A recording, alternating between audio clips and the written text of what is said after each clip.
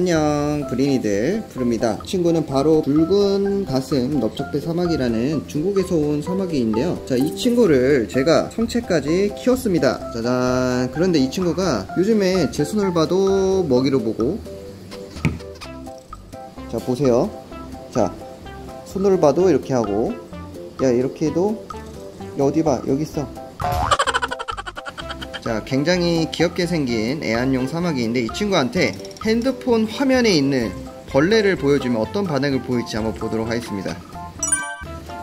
어 쳐다본다 쳐다본다. 머리가 움직이는 게 보이세요?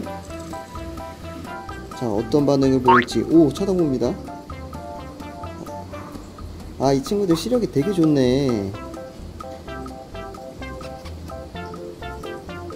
약간 사람처럼 이렇게 뭐가 움직이는 게 이 화면 속에 있는 것도 똑같이 보이나 봐요. 아이고, 아이고, 홀짝, 홀짝.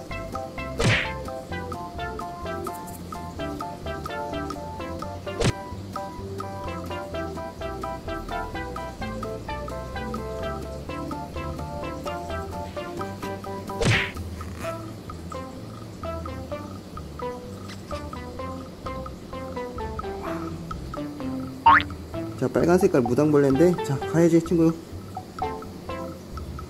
자 슬슬 움직입니다. 자 먹이가 어디서 나오는지 봤어요. 오 쳐다봤어요. 아 빨간 색깔도 잘 보이는구나. 오차! 오차! 아이고. 아 미안하다. 알았어. 진짜 진짜로 줄게. 잠깐만. 잠깐만 자 친구가 좀 많이 수고해 주니까 진짜 진짜 귀뚜라미를 주도록 하겠습니다. 자 친구 여기 있어. 자 옳지. 선물이다. 잘했어. 자 어쨌든 사마귀는 핸드폰 화면에 있는 곤충들도 인식을 한다라는 결론이 났습니다.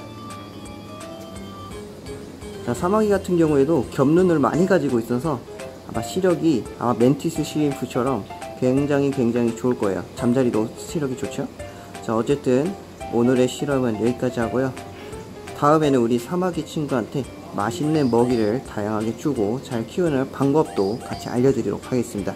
이제 곧 넓적배 사마귀나 왕사마귀 성체들이 출현하는 시즌이 왔죠. 우리 여러분들 들판으로 갑시다. 물론 뱀은 조심하십시오. 자 그러면 여러분들 다음에 봐요. 안녕.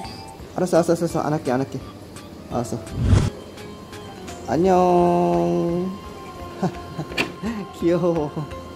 사마귀 너무 귀여워.